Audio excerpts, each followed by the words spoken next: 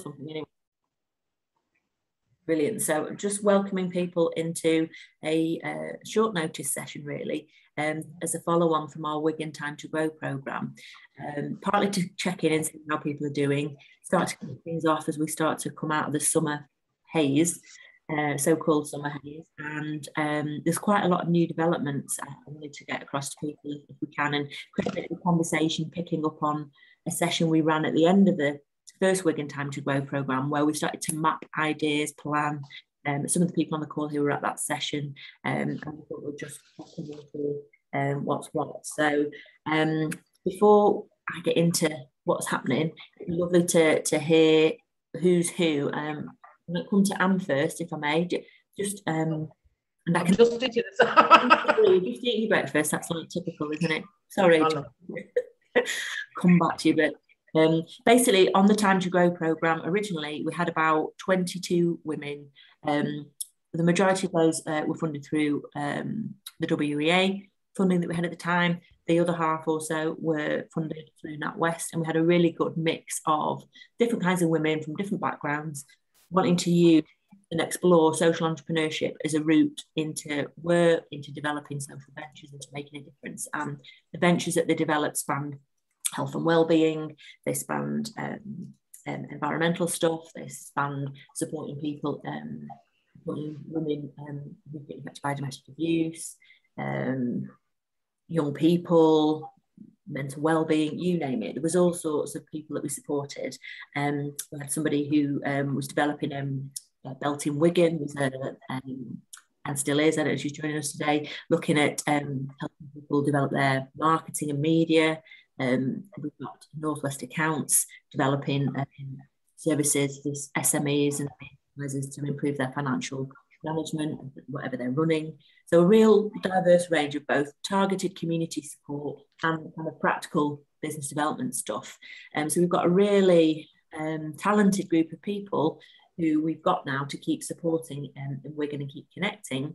And then we've got um, funding for a new program we'll talk about in a minute. And we're hoping that over the next six to 12 months, we can um, weave, weave the different communities together, both the people that we supported previously, the people who we're seeking to find, um, that I'll talk about shortly on, across a few programs, and um, obviously connect into the wider social enterprise support networks and other, other things going on locally so that we can maximise resources, reach out to different people, offer some good um, opportunities for, for social entrepreneurs, local residents, and anyone else. So um, that was just a bit of a flavour of who's been on the programme I come now, who can perhaps say, give an example of somebody who's been on the programme. Do you want to say hello, Anne? So what, what, what... Hi, everyone. I, I, think I've met most people. Um, I'm Anne. I run Reiki Wellness Centre. I'm a holistic practitioner and wellness coach. I offer a complementary therapies, including Reiki, EFT, mindfulness, meditation, and I've recently added forest bathing to that. Um, I've just over the summer I completed a diploma in forest bathing, so I can now offer that. Good to know. And so, uh, and I also run a community uh, cooperative, really, of holistic therapies called Wigan Wellness Web, and um, that's just a group of therapists brought together because we want to offer things to people who maybe couldn't afford that themselves, like individual sessions. And um, we've just been successful in getting a very small amount of money from the uh, deal for communities in Wigan. Uh, and I'll be offering, uh, we called it Wellness in the Woods, which is a, a mini forest bathing um, around, yeah, around the Three Sisters area. We've um, collaborating with Hope School in the Hamlet there. So um, that's going to start in September. As soon as the schools go back, we'll be setting that up and running that through September and October term. So great news.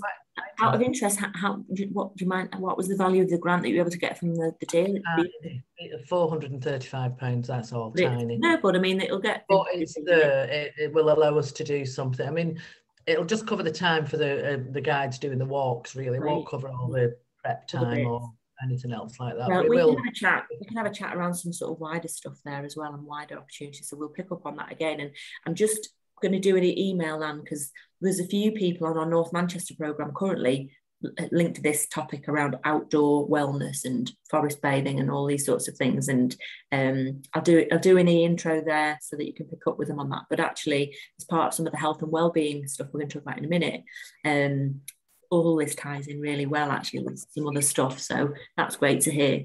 Um, yeah. it's, been interesting, it's been an interesting summer. Good, yeah, and it's good to hear the developments and things moving along. And um, fantastic. Um, obviously, we've not got heaps of people off the program on the call yet, and we'll just see who drops in as we go. And I'm not overly worried because I know people are still kind of dealing with summer holidays and um, we can map out who we think is going to be involved in certain things, even though they're here. But before I come to Tracy in a second, just to give us a kind of bigger picture sort of perspective, because she's obviously linked in from um, sort of the council side, the social enterprise network side, I was just going to ask Shelley if she might say hello and introduce herself.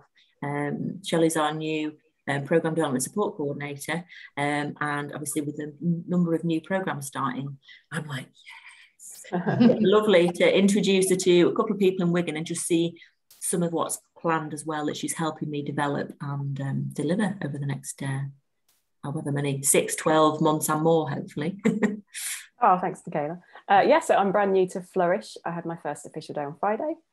Um, a little bit about me I've been working in and around social enterprise for well 10 to 15 years um, lots of work in the uh, for purpose and not-for-profit sector most recently for the last five years i've been running a social enterprise myself which was teaching children and young people digital information literacy.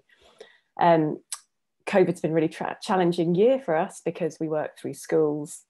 Um, and we decided a couple of months ago that we were going to wind up our operations um, because the content that we were we were delivering it just isn't on the clip curriculum and it's not going to get on the curriculum for a while and so schools couldn't prioritize it. So we took that decision and then this opportunity came up at flourish uh, which seemed absolutely spot on for me. So i'm delighted to have joined and uh, just from a couple of days working with nickala I can see some of the incredible work being done and the fantastic social enterprises that flourish support. So feeling very enthusiastic and excited to be here Fantastic. Thanks, Shelley. And I know you've dipped in and out of bits and pieces of Flourish stuff over the years. You've spent yeah. our events and attended a couple of things. So uh, whilst you're kind of new to the behind the scenes version of Flourish, uh, certainly not new to, to what we do and, and, what, what, what works in this social enterprise world. Um, fantastic. Um, Tracy, do you want to say a, a hello and um, any updates from you and anything you want to sort of share or say before we get into some, some thinking? Um, I could do a bit, of, a bit of everything if you want. Um, uh, so hi Shelley, I've met Anne before, but hi Shelley. Um, my name's Tracy. Um, I'm the community funding manager within the Deal for Communities team at Wigan Council. Um, like you, I'm quite new to that that role in within the council structure. Um, I've been doing it for about four years now, I think, because originally I was part of uh, Wigan Borough Community Partnership, which was the VCSE infrastructure organisation, but like your organisation, unfortunately, it folded earlier this year. Um, so uh, the council pulled all the services back in within the for Communities team, uh, which included my role. So luckily, I could just carry on doing it as I was previously.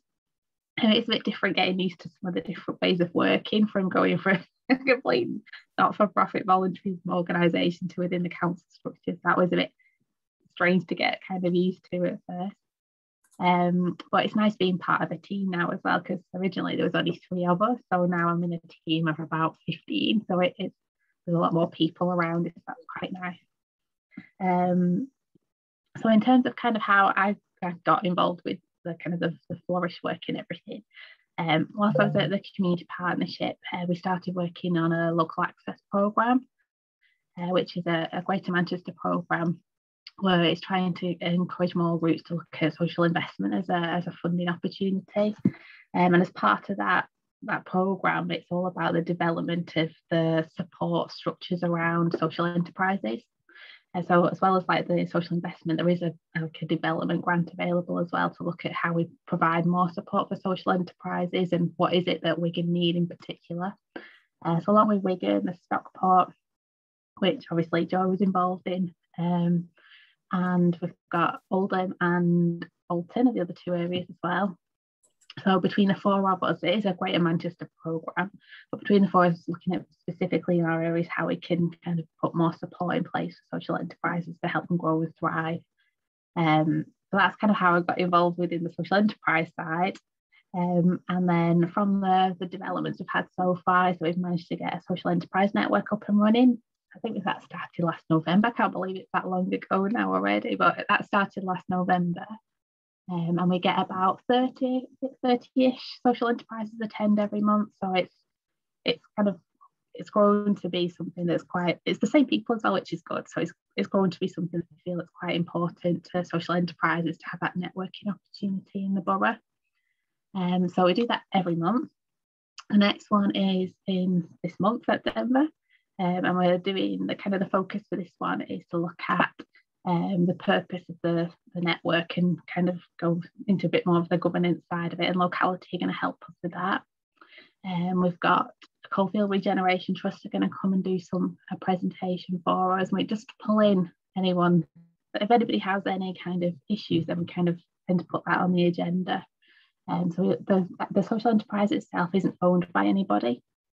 Um, and it's not, it's kind of the, the agenda is written by the social enterprises. What do they want to know more about? So we make sure it's really worthwhile for them.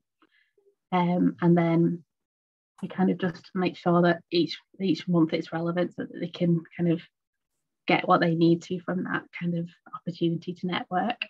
Uh, quite a few of the, the uh, ladies that attended the Time to Grow program have attended some of the social enterprise network meetings, and I know they have made really useful connections within that. So um, they do they're on the mailing list and they do get the the invite to go along to the the network opportunity. Hopefully, in the next few months, we'll start getting back face to face because I think that's where the really like genuine benefit comes from because um, like meeting people face to face when you're having a coffee is where all the good stuff happens. So hopefully we'll be able to get back to that in the next couple of months. Um, other things that are going on, we use the social enterprise network as a kind of co-design kind of element for our, some of the bigger projects that are going on across the borough. Um, so we ask people what they think and kind of sense check everything to make sure it's going to work. Um, loads of bits bits and pieces going on all over the place. Um, well, we can well, we can follow up with you again on that, and there's you know, obviously a commitment to keep cascading and sharing stuff. We're yeah. on various newsletters and things. I think I'm certainly very keen where we can, and clearly there's got to be you know processes and transparency and whatever else. But um, with yourself, with Dave, with mm-hmm. potential resources through whether it be the council, the local access partnership, or anything else, Flourish and, and our you know groups are very keen to look at how we can work in partnership with you guys, potentially be commissioned to do stuff in future. We've obviously you know, flown the flag and kept the fires burning and supported and developed 17 new social ventures in the last year um, yeah. in spite of COVID. And um, we've just secured some WEA funding to run another Time to Grow program. Mm-hmm. Um, and so I'll say a bit more about that in a second. So we're here, we've got a commitment to working in Wigan and we're, we're going great guns working with um, Claire and the team at Merrick Street, who we're working in, in partnership with again this time. So um, so thank you, thank you for that. Um, all I was going to do here was a couple of things. I appreciate we're kind of a small group, so there's only so far we'll get in some thinking. But if I just explain kind of a little bit about what's going on and what's um, coming up, I thought we'd then get into a bit of a chat around some opportunities for um, co-designing some activities um, and we'll come back to the wider group around this and this is kind of it will all evolve so um, ignore that but I've kind of nicked an old an old slide here and just to try and illustrate what it is we're trying to do or what I was going to try and talk about. So really it was just an informal information and catch-up session. Um, I was going to talk about just a few programs and opportunities that are live and coming up now, um, just in case people weren't aware of them. And then um, talk a bit about what's coming up, what we hope to achieve with the new Time to Grow programme, and then think about what we said at that day where we mapped a bunch of ideas um, and think about how we might want to pick some of that stuff up and get moving with it. And, you know, we, we don't rest on our laurels and we've already got dates and potential stuff ready to go. And um, so there's an element of, you know, can we get people involved in, in what we know we want to run and then what do we want to do? beyond that um, are things that we can sort of think about. So just quickly, programs we've got coming up, um, for anyone that wasn't aware, we've got this Ellie program. So Ellie um, it's a program that we decided to run as a result of doing this consultation for the GMCA the other year, uh, like last year, and we looked at the needs of the women's support sector, and you know it wasn't a pretty picture, and we thought rather than keep just running more time to grow programs, which which we will do, why don't we focus one specifically the women's support sector. And I'm pleased to say we've already got applications from at least two of the um, people in Wigan who joined our programme. So there's a good chance um, Aishatu, um, Amore and um, Alice Coran will both come on the programme. Um, and I'm mentioning it now because there's room for more um, potentially. Um, we're looking for people who are running women's support organisations in the main. So people who are setting up social enterprises or running sort of wider stuff. This, this is less focused for them. This is all about helping grassroots medium to long term and kind of old stalwarts kind of women's support sector organisations to better connect better um, support one another and think about how to improve their sort of business acumen, their leadership, their innovation and influencing skills, and how we can create a bit more of a, a strength in numbers approach that's not at the mercy of whatever funders, commissioning, and other things, and um, you know can achieve all sorts of stuff. So there's a whole program designed for this. It's kicking off towards the end of September, beginning of October.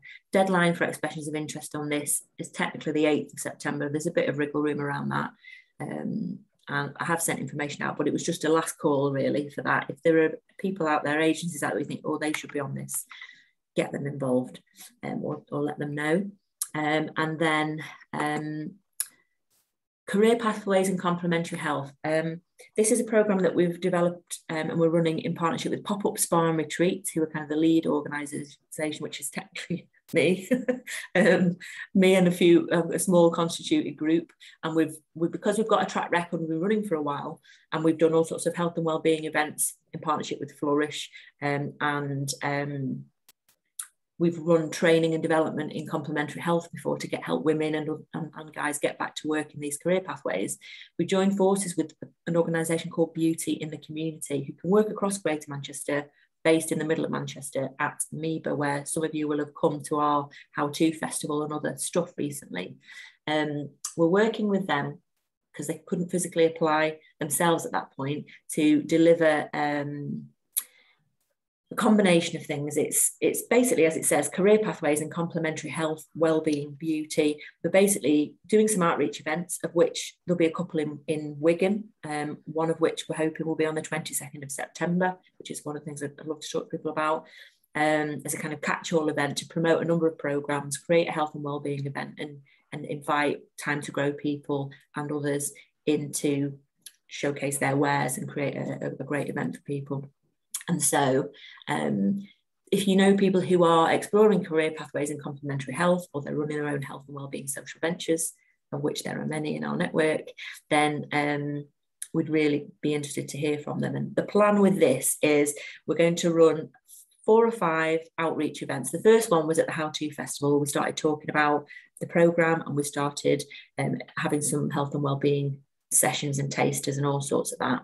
Um, we're hoping to run some similar stuff in Wigan, in Salford, in central Manchester, in North Manchester.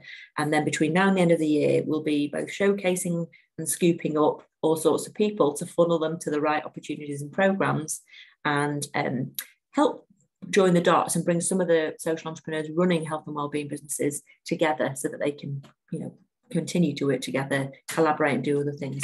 Just like I've, you know, just about to email um, Anne there and put her in touch with two other people on our other programme because they've got similar interests. Um, and I'm hoping that the, the, three of them might be involved in some of our health and wellbeing events amongst other stuff. So um, actual sessions and training looks like a combination of enterprise development training and social enterprise exploration. It looks like accredited training in beauty therapy and complementary therapies. There's a creative and digital and um, media skills development aspect.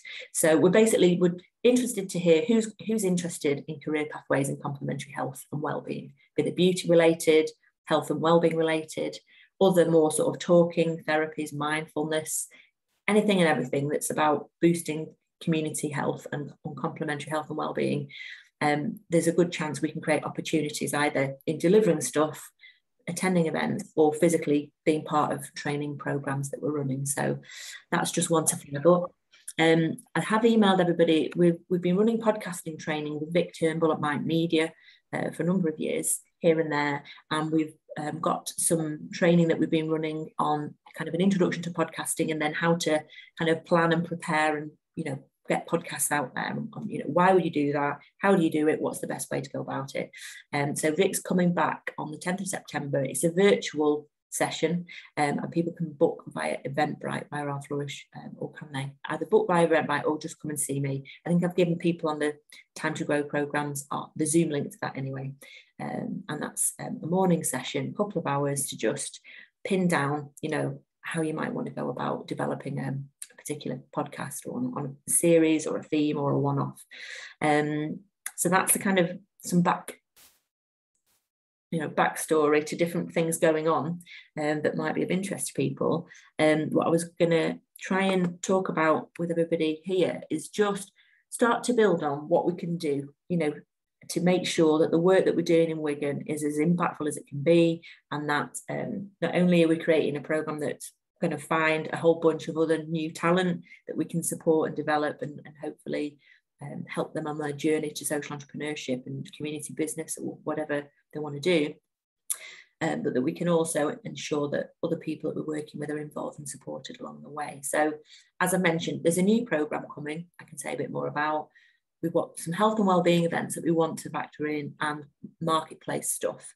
And the reason I kind of mentioned those, I just stopped sharing this, when we met, and you'll, those of you that are on here will remember, um, the last program day that we had, we were very keen to make sure that we we looked at the what next. You know, it's very easy to run funded programs finish it off, do your evaluation, and walk away.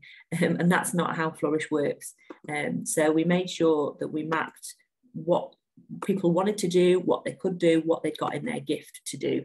Um, and we always work on kind of two or three pronged approach as kind of what can we do now with no money or no resources? What could we do with, you know, some input and resources and, and, and whatever else? And what could we do with a whole swag bag of resources. Um, and so it means that we can get started with something and watch the snowball roll and see where and how we can build allegiances and tap into resources to make things happen. So following those conversations that we had, um, we basically, this is this, I'm just pulled up what we talked about then. And to be fair, we did influence this a little bit because I know what we've got in our gift to do. And we don't have to do this, and people don't have to be involved in these things, and we'll support you to discuss or connect people to do whatever the hell people want. But we know that there's a possibility that Flourish can be involved with, and some of the people in the group might want to create you know a local calendar of events marketplace stuff things where people can reconnect and come back together you know so the idea is that we might create you know a monthly peer learning and development program where people can come back and deliver stuff um, share knowledge or just connect virtually or physically. Um, and there's ways and means we can do that. You know really in the initial focus of this is around sort of maximizing the talent that we've got um, showcasing and making sure people can see who's out there and what's going on and what people can connect to um, obviously, Anne's just described some activities and some courses and sessions she's running. Aishatu's got um, uh, some money to be running health and wellbeing events in and around Wigan, and particularly working with uh, women from diverse, ethnically diverse backgrounds, but working with all women. Um, Alice Coran over at Remade has got resources to be running activities and upcycling stuff there. Wendy at Umbrella Arts are running constantly classes, programs, and activities for children and young people, families, and people interested in, um, I guess, pottery, ceramics, and arts. Um, Merrick Street, I've got a whole bunch of resources they brought in to work with people with dementia, um, to work with um, artists and makers. So there's heaps of stuff um, that people are doing, and we need to make sure that people are aware of this. And um, Merrick Street are currently looking for somebody to take over from um, Alison, who's going on maternity leave. They're desperately trying to find this kind of package of skills. Uh, they may or may not find in one person, or they're happy to look at a couple of people who can take over uh, running and production of the workshop while Alison's on maternity leave and deliver some kind of creative craft and maker activities um, as well as sort of help manage some of the logistics around sort of production, manufacture and distribution of the products that they that they sell. So if you know of anyone like that, I'd just throw that one in there as a, you know, without these kinds of conversations and ways to share stuff, people don't get the information. So, can I, sorry, can I just pop in there? Yeah.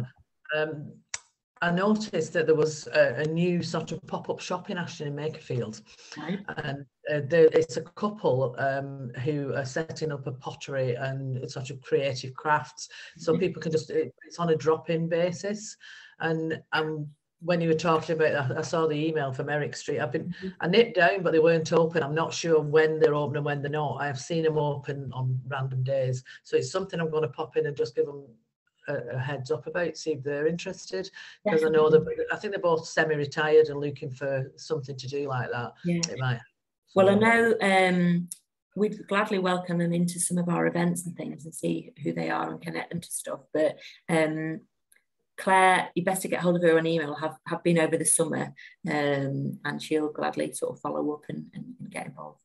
I'll just get. I'll just drop in and give them because I think I've got the card somewhere. I'll give her the card and she can contact them if she think if she thinks it fit. Yeah, definitely. Um, and I guess um, in terms of us talking about this, I know Tracy. It was yourself and um, Vicky. So I spoke to Vicky at Belton Wigan this week.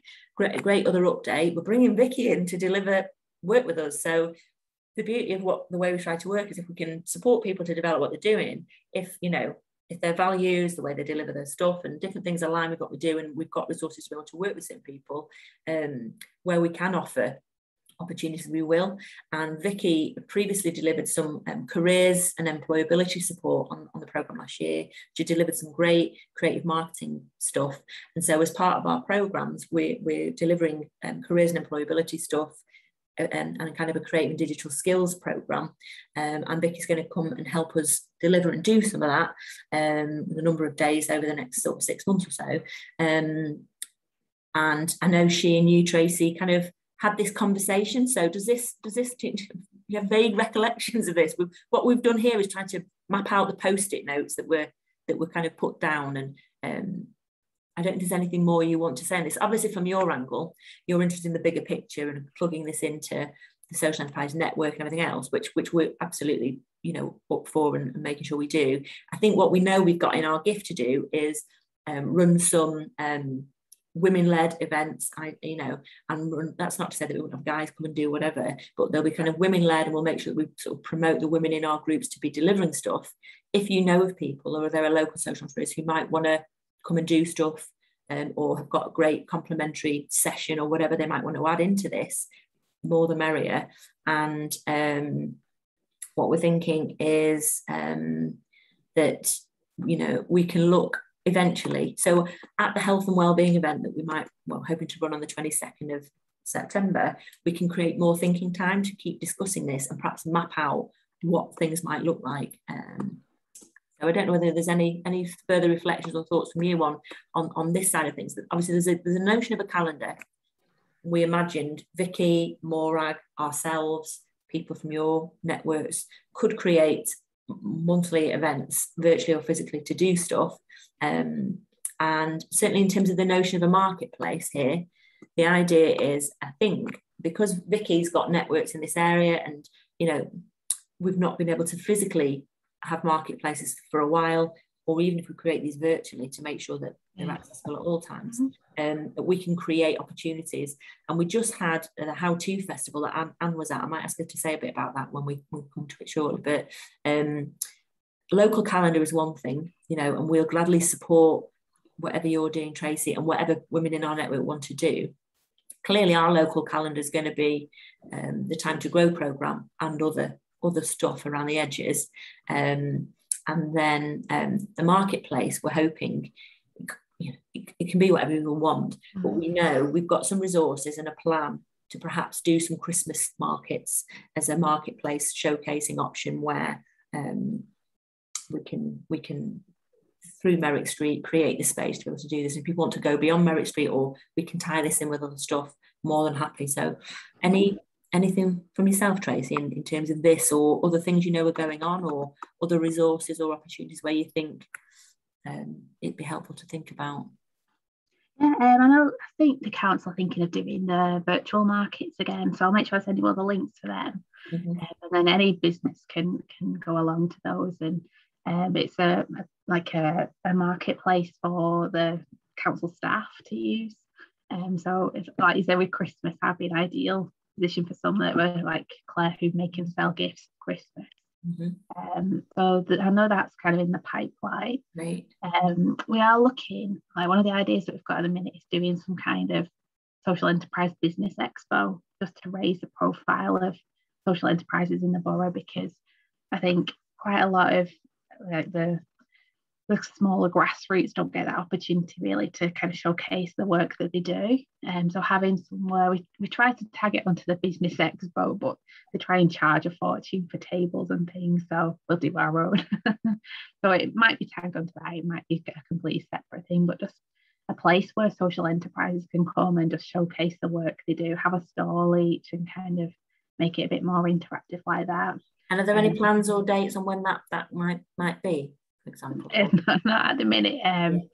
It's part of the local access program as part of our, one of our events that we've, we've kind of put, like kind of put in. So it just depends on the speed of that moving through to finance it. Yeah. Um, but it is kind of one of the definite things that we are looking at having as a social enterprise expo. Um, so that's hopefully within the next 12 months. Got you. Well, um, and, and kind of knowing that, kind of knowing a bit around the edges of this, I guess we thought because um, we always do, rather than wait until yeah, yeah, point. Yeah. Um, if, we can, if we can be running this between yeah. now and the end of the year and scoop people up, get mm-hmm. some action happening and get some connectivity there, yeah. physically and virtually, then yeah. those people that we're supporting can hopefully plug into to future stuff. Um, and um, you know where mm-hmm. that's helpful for you guys and where you're able to either invest resources or time or share the links of what we're doing to yeah. encourage more people to to get involved yeah. to keep the snowball kind of building ready for wider mm-hmm. opportunities then than, than all, uh, but all, all of your correspondence and stuff we can send out and mail out via the social enterprise network as well because we've made that a formal list mailing list now right um so we've got that so dave's got he's in charge of administering that so anything that we need to kind of communicate with the wider sector can go out via that that way as well. Um, in terms of virtual calendar, I think that's a really good idea because there is so much going on for, for social enterprises and yeah. different opportunities. I think having kind of a central place would be really good. But and I think I'm not, yeah, I don't think we won't necessarily run a virtual calendar for everyone else because it doesn't make sense. Why would you keep yeah. the knowledge yeah. in just the women's bit, if you will? yeah, um. So I think all of this thinking, and, and I perhaps share, I'll, I'll send the video of this to you and to Dave and whoever that as part of the um, the planning sessions that you've got coming up. Clearly, you know the, the thoughts that come forward, and I'm fairly sure that if we're kind of nurturing, encouraging people that we're working with to think about what are you running, what are the days, have you put it on this central calendar, you know, whatever, then we can make sure that that, that things tie in. Um, we'll certainly be planning a bunch of stuff each month you know, for the next six months or so. Some of that will be physically targeted at people on the Time to Grow program and associated sort of networks. Um, and some of that will be sort of open stuff. And certainly the health and wellbeing events, the marketplace stuff that we're planning between now and the end of the year will be open, open to all. Um, and so we'll make sure we, we get all that out there. Um, and yeah, Vicky, I'm hoping to lean on. Vicky's been tasked with um, doing some of this. She's going to get, um, you know, paid to help plan and support and do a bit of outreach around some of this because I know it's something that's close to her heart and that she'll take this on and, and really run with it with us. So yeah. so we're looking forward to that. Um, with the, with the sorry with the virtual calendars before you move on. Um, when I said that uh, locality is supporting the event for the social enterprise this time um, there is kind of something that we want to kind of pull out is that communication side of it with the with the sector of how do they want to be communicated with? Because at the minute we don't have any kind of platforms or anything so that's one of the questions. Do they want like a website that can be managed either by Dave or by somebody else do they want like a, a managed platform website where they can put stuff? Do they want a calendar? So would it be useful to have all of this stuff on one shared resource? So that's part of our, we're exploring those ideas at, this meeting. So I'll, I'll feedback to you of what's come back from the wider sector, what they need, and it's how we kind of use it to kind of benefit this. And I guess you've got that Facebook group, haven't you? That it's not mega active, but there are people posting mm-hmm. things, and I think there's ways of utilizing what exists whilst yeah. trying to build what's there, isn't it? Yeah. Um, and we'll obviously have you say a bit more when we come into some of the other things. But any any thoughts on on this from conversations that we've had to date and kind of where we're at with thinking at the moment? Um, you're asking me what, if I've got any input. Sorry. Yeah, well, really, yeah. On, on this sort of um, you know, monthly calendar and, and, marketplace side. If yeah. we take the health and well-being events and other bits aside, it's just um, thinking from a sort of local social entrepreneur's point of view. Um, you know, might this be helpful? And are there things that you you'd want to be be part of or be be, be I, I certainly want to be part of the social enterprise market. Um, I was going off on a tangent in my head about um, which elements would be better for it, my Reiki Wellness Centre and which yeah. elements would be better for the Wigan Wellness Web. Yeah. Uh, on the, I think I'm really chomping at the bit to get um, face-to-face meetings up and running. Um, Zoom's great and everything like that, but to be totally honest, when I'll be on a Zoom meeting, I'll take loads of notes. I maybe pick up and do a couple of things, and then the rest of like all these ideas that you get mm. don't particularly get carried forward. Mm. Um, so I, will focus on one thing, maybe like the um, face-to-face meetings, and think I'll plan ahead to go to go along to those and what yeah. can I use and what can I do. Yeah. Uh, even with the marketplace, that would be quite useful because while I don't have a lot of physical items to sell, mm. it would be useful for, for promoting like gift vouchers, um, maybe like uh, chakra stones and sets and things like that, but little bit. Yeah, we would anticipate um, that we'd in any marketplace where possible, we'd create a pop-up spa area so we would yeah. be able to offer treatments and things and a bit like we did. I can offer treatments. That's not a, that's not a problem, or, or sort of bring people in to offer treatments because mm you know we can we can do things like let people try it this is what i mean it's the face to face things that i think generate more um, return for me rather than the, online. yeah. How i mean and i guess we had our just while we're on it. I mean the how to festival that we did i kind of put that together over the summer for a few reasons. Partly because i really wanted to just have a kind of last blast. Let's get some people in a room before everyone disappears for the summer not quite knowing how the winter's going to unfold. Um, I wanted uh, to make sure that we could connect people from different time to grow programs and up to our wider wider network because as much as a lot of people who've come on our programs know us for that actually for the last five years or more we've been doing other stuff with a with a wider network of established and evolving mm. social entrepreneurs. It's really important that we connect people together for, for lots of different reasons. Um, and we were just glad that we were able to run that. Um, and, and it was a, it was a real world one. do you want to just say a little bit about about that, Anne, and sort of you know? I really enjoyed that. It, it was a really good opportunity to meet up with like other people uh, offering similar things and offering additional. Um, the is it called Mobo or Maba or something like that? Yeah. yeah the setup there is really, really, really good for training and for um, you know, like for, for, passing on skills, but also really for finding out what else you could add on to your uh, your services, your offerings mm. that maybe you hadn't thought about um, that would fit in and, and complement it met some nice people, some useful people. Um, because it was held in Manchester, and there were you know, maybe I won't get customers from that, but what I did get was quite a lot of ideas, and I did get some good feedback from people who experienced the training, uh, the services, and I think I did an EFT. You did an EFT um, workshop and you did some treatments, some Reiki treatments. A couple of Reiki treatments as well. So um, yeah, it, and personally I thrive on the on the one-to-one feedback face to face. So I got some good feedback, which means that I can tweak my workshops a little bit mm. and offered got chance to offer the Reiki treatments, but it was a networking, the ability to chat to people and look and because mm. you look at a list of things that you can offer and it doesn't always uh, register what it is but when you're talking to somebody about what they do then you think actually that's that's really good. I, that's something I could maybe find out more about. Yeah. Uh, like accredited training opportunities. Yeah, well, you'd certainly be very welcome on the career pathways and complementary health. I mean, you're on it. You're on a journey. You, you know that we we teach you to suck eggs with some of it, but I think at the same time, um, we can have a chat again about what you know what your needs are and make sure that this program that we're developing meets the needs of both those just entering it as well as those who have been in it for some time. And the idea with it is that um, we'll attract people who want to switch career and, and see what the options are for them in well-being, complementary health, and whatever else.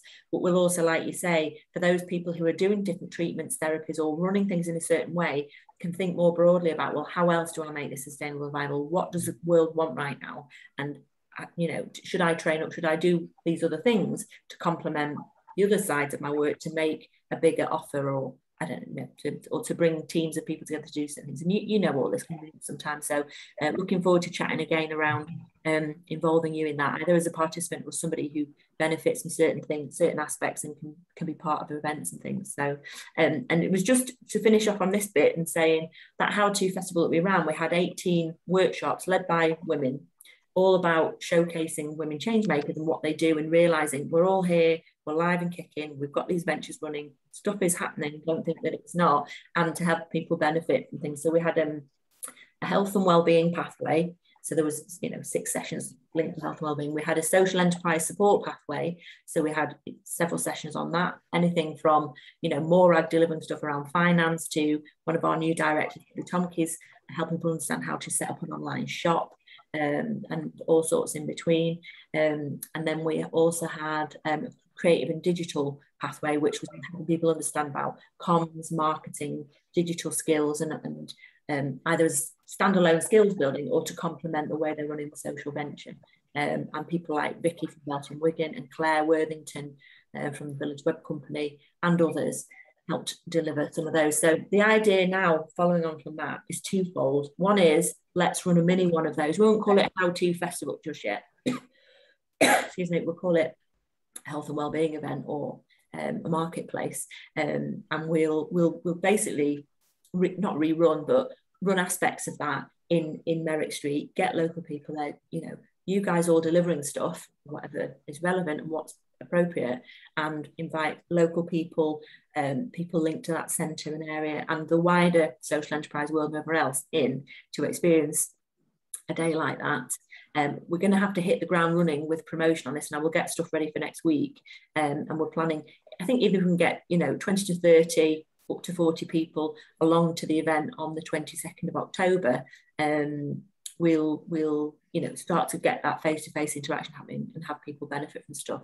And the goal is to have um, again showcasing stuff connecting people that networking but also promoting the whole range of our courses what's coming up and everything else that we've got going on and so 22nd of september is a date for that we'll, we'll come to um so that's 22nd of october did you say 22nd of september September. Yeah, a few weeks' time. We'll, we, we're going to run a few events, so I'll come back to kind of chat to people about sort of dates and things. But I think the idea is um, we've got uh, the 22nd of September as a health and wellbeing event where there'll be a, handful of workshops, mainly with a health and wellbeing focus, a few talks, a few demonstrations, and uh, some treatment options is kind of what we thought would happen. Um, and then maybe running the second one that we do on a Saturday. So, for example, we could do it on Saturday, the 9th of October or Saturday, the 16th of October. So, we'll kind of test one midweek, um, 9 till 1 or thereabouts, or 9.30 to 1.30 or whatever, on the sept- uh, 22nd of September, and then create some time to think about doing something uh, either bigger or on a weekend to see if that also affects sort of football numbers and who we can invite along. Um, so I will pop an email out to see what dates are best for people in October, but we're thinking Saturday the 9th or Saturday the 16th um, and seeing what's what. Not not the 16th for me, it's my son's wedding. Ooh, wow. Oh, well, that sorts that out then. Ninth it is. oh, fantastic. And then um, in theory, I don't know. I need to check with everyone else. I need to check with Claire and others, but we could do the Christmas markets either on Saturdays or, or on an evening, and we'll talk to people about what their capacity is and what they're interested in. But you know, things like Saturday the 20th of November, Saturday the 27th, or Saturday the 4th of December are potential options for a, a marketplace event. And it's trying to decide are we doing one, are we doing a couple? Um, you know, I will pull Vicky and um, a bunch of others around the table just to kind of pin that down. But if people have got preferences or stuff or suggestions, um, keep talking to us about all that and we'll try and make it work as, as neatly as it can to make sure everybody that wants to be involved can be. Um, just one of the other things we talked about when we came together was these learning journeys. Um, the last time to grow program we had was originally designed as a physical thing before COVID kicked in, and then we had to kind of shape it and not do this learning journey bit.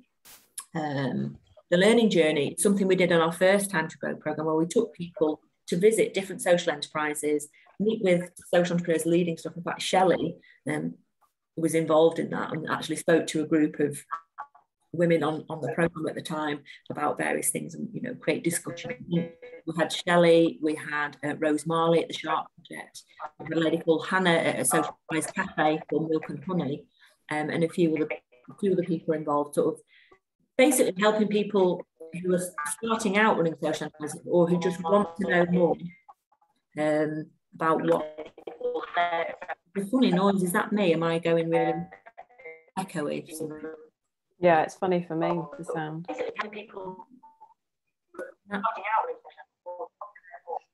don't understand what's going on there. But anyway, I'll carry on and hope for the best. Um, what I was saying with these learning journeys is we've done them before, we know they work, we've done them pre flourish, we've done them during these time to grow programs, and then we've done them um, also um, as part of, of this. And the plan is that in this new time to grow program that we're running, we we will visit, you know, obviously Merrick Street, um, we'll visit Remade that are now sort of opposite um, the station with Alice there. We'll visit Umbrella Arts, all being well. We could visit Sunshine House. We can visit, you know, basically the, the brick and, you know, different ventures that are led by all sorts of um, women across Wigan. We'll go and visit them. Uh, we'll go and, you know, pounce on Yellow Jigsaw. And, and, and the idea is, um, there's other things that could evolve out of this, but certainly as part of the Time to Grow programme, it will be um, going to visit a particular social venture as a kind of learning and development opportunity for the people that go and visit, but also for that venture that we go and see, um, how can we help them? You know, thinking along the lines of things like common purpose or action learning sets and sort of experiential learning, we'll go visit these sites and soak up you know, be inspired by what's going on there, but we'll also offer ourselves up as a kind of, you know, think tank focus group troubleshooting platform for the ventures that we go to visit so that they can thresh something out, or think something through, or, you know, whatever's required. Or we might just sit and, you know, paint pots together. you know, it depends what's needed at that at that venue and at that space. And we'll each each experience will be kind of shaped according to who's running it, where it is, and what's going on there. Um, and people um, will, will sign up to these within the Time to Grow program. But there's nothing stopping us creating these again, um, other than you know time and resources. And this is something that people can do independently anyway. Um, and we've got offers of opportunities. We've got our Time to Grow program that we're talking this into, so that's happening. And then um, sort of I say last but not least, we've been talking about it all the way along here, but um, what the other thing that we talked around was around health and well-being events. And like I say, directly listening to what people said at that event really helped shape and make sure we ran um, health and well-being sort of themed area within our how-to festival. Um, and I think we just, you know, we're going to peel that out and run it in Wigan. And we had Anne, we had Aishatu, we had Vicky, we had three or four women from Wigan running stuff there, combinations of complementary health stuff, things to do with mindfulness, and mindful sewing, I think Aishatu did. Um, and we also had, um, you know, a lady um, who's linked to Wigan actually, who's an um, uh, like an, an, entrepreneur nurse or nurse entrepreneur talking about like asthma. And um, so there's kind of practical um, health tips and benefits, you know, from statutory sort of communications right through to you know, mindfulness and well-being. And that's what we'll aim to create with the events that we do um, in Wigan. And, and, like I say, Anne, 22nd um, is the date that we've got penciled in for the first one, um, just to get running, get people together, um, start promoting these courses that are running to different whoever turns up basically and it should also create a little bit of thinking time to co-design the next batch of things that we want to do. So we'll create space within that event to do a few things like we normally do. You know, there'll be um, some talks and tasters, there'll be some um, demonstrations and treatments, and we'll try and create um, an hour within the event or after it to look at what we're doing in October and in, you know into the the, the, the winter. Um, we can, I know it's not your bag, Anne, but for people who can't necessarily get to these things physically in Wigan, or, um, or wherever, we can run virtual events and there is scope to run some virtual stuff. And typically we run perhaps two virtual events a year um, with the resources and the sort of capacity that we've got. But if more people wanted to get involved and do this, we, we can do more. So um, it's just something to think about. And one of our areas of focus for some virtual stuff before the end of the year is building on the How To Festival. And as much as we did it physically, the plan now, um, with support with um, Shelley and Michaela and a few other people, we'll be going back to people like Anne and Aishatu and Vicky and various others, um, Morag and others, to um, get them to do a mini webinar. They were obviously, thankfully, we were able to pay people for their sort of contributions, getting involved at the, the physical How To Festival. We're hoping as a kind of promotional tool and to support taking something online for a wider audience, um, we'll ask people to do like a mini 30 minute or so, 20, 30 minute webinar on how to, whatever it was they did. And then we'll create this online how to festival so that over the winter, if we do get cooped up, for example, or even if we don't, now that a lot of women especially can't and won't and it's tricky to leave the house or it's just nice not to sometimes um, we will make sure that we've got that mix of online and offline stuff going on and um, we'll be back i've been saying it for the last few weeks but just needed to get a rest sort of over the summer before we plough into getting all that ready so conscious I've talked a lot there. Um, I wonder what you're making of it all, Shelley, because obviously you're coming to this from the, the outside. I just wondered whether you've got any thoughts or observations or questions on this that. Yeah, I think it looks all really interesting, um, and it makes sense. And you know, the idea of doing things in the local area for um, collaborations and connection. Um, and obviously, you talked about talks and tasters, which um, which sounds really interesting. I, I, a question is, would the health and wellbeing events be deliberately targeting potential customers for the enterprises? good question. And from our point of view, yes and no. So from, from, from what Flourish have within our gift to promote this, you know, we promote it through our immediate network. So there are plenty of women leading voluntary community and social enterprise organisations who are, you know, burnt out, shattered, exhausted, or, you know, don't take enough time for self-care. So from that point of view, our immediate community is a potential customer for a lot of this stuff. And I think making it affordable and accessible and having these little tasters gets people to come to this stuff. That's part, one of the reasons why we've done it. So in terms of women needing this stuff, I would say yes, we can get hold of them. Um, we promote things through you know Twitter and Facebook and where we can on Instagram and social media to a wider world. Um, I would say the majority of people who come kind of fit the demographic of, of, of who works with us. And that's, you know, very diverse women from the ages of about 25 to 85 and everything in between. Um, but I think we need to have a wider think about how we collectively promote what we're doing to ensure that the, the women that we work with networks can perhaps come along to this sort of stuff, or we, we can get out and promote this to people who couldn't give a monkeys about social enterprise or the fact that it's women and just you know, like want to access a health and well-being event. Um, and also we've talked quite a bit, but we don't do it. And I would gladly welcome thought, further thoughts on this. Um, how we promote more to um, the business sector. We have, we've run stuff for Barclays, we've run stuff for NatWest, we've run stuff for universities. So there are audiences there that we can tap into to come to things. It's just with the right message at the right time in the right place or targeting, running a health and wellbeing event you know, doing these things in Wigan and then saying, right, you know, would Barclays or this university or, you know, this council or this women's enterprise conference like to buy in, you know, whatever it is, mm. as a kind of health and well-being bolt on to whatever they may or may not be providing their staff, customers, delegates. Um, we've experienced doing all of this. is just focusing it down for, for the, the right people the right way the right time but i'm hopeful that as we, we get to grow a few more health and wellbeing events than we have previously with a wider collective of people that other people can kind of pick up the baton and run with whatever they want want to do so they're not kind of you know constrained by what what we can kind of can and can't do and if that's helpful Anne whether you have any any thoughts on that because bottom line is you're looking for opportunities you're looking for customers you're looking for you know investment in what you're doing obviously I think the other thing, just picking up on Anne's point about um, well, the value of face-to-face meetings and the, sorry, echo is that the just me. I'll just try and ignore it. Um, it's uh, just about turning chat into action, and I'm, I know you'll have been thinking about this, Nickala, mm-hmm. um, but kind of formalising or, or trying to create structures so that those chats aren't just chats that things can actually people can come together and, and do things following the sessions. I think it's a really useful strand to have in there.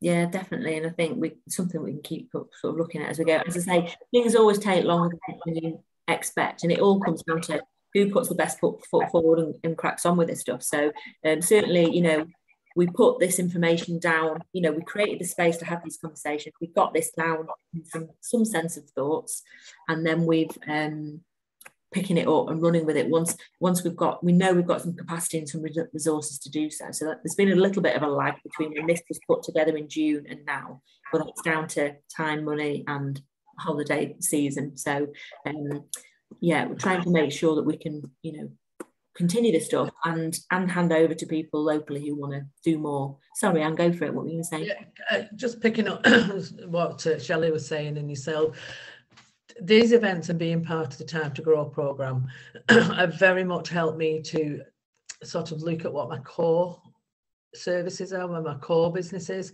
Mm-hmm. And yes, I've got lots of ideas and had lots of branches where I'd want to go off. But what it helped me realize and talking to people and getting the support from them is like to just focus on a few and get them really well and then leave the other things until later because I was spreading myself a little bit too thin trying to do too much. And it has helped focus and I've seen the benefit of that and it's sort of built up and, and building quite nicely. So I think out of of anything else it's like stop have a rethink what you are intended to do.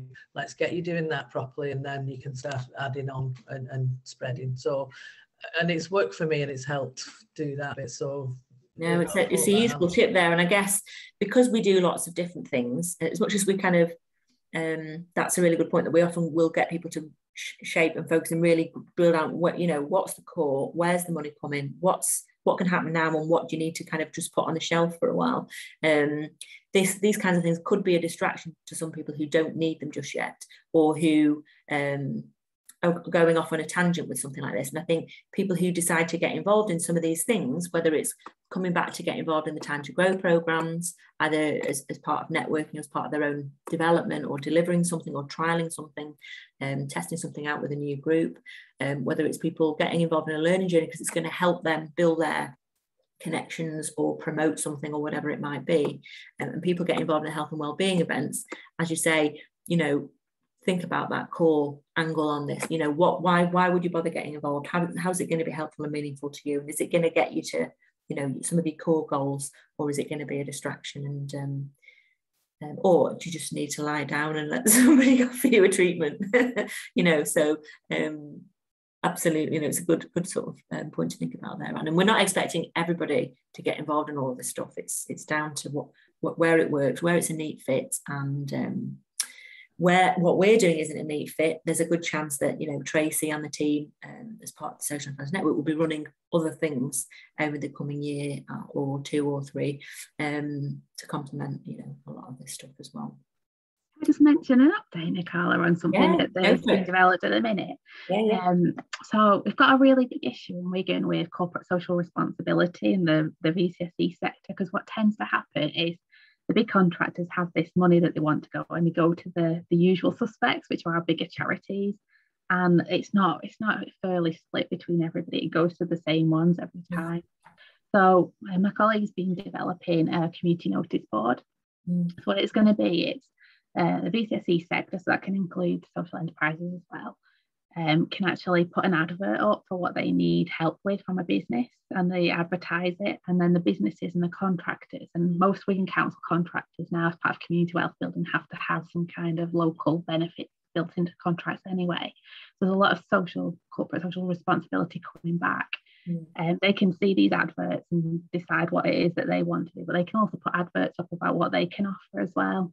So it's a way of kind of linking the business sector with the the VCSE sector and how they can support better support each other. So I'm just thinking for your events, mm. uh, it could be that you could advertise on the notice board and um, the events coming up and see if any businesses want to support, but also the, the, the organisations as well, if they need any specific things that businesses might be able to support them with. So, Great idea, and I think we'll definitely follow up with with with you on that. And um, yeah, initially, whenever you're making relations with people, you know, they just want to you know, it's all about building trust and experiences and checking it's relevant for you and that kind of thing. And so at least through running these sorts of events, people from different companies could come down and understand what does the world of health and well-being look like um, in, in Wigan in terms of social enterprise, what kinds of services are out there, are there ways that their um, you know, HR teams or um, managers might be able to um, mm-hmm. you know, procure services or better understand what yeah.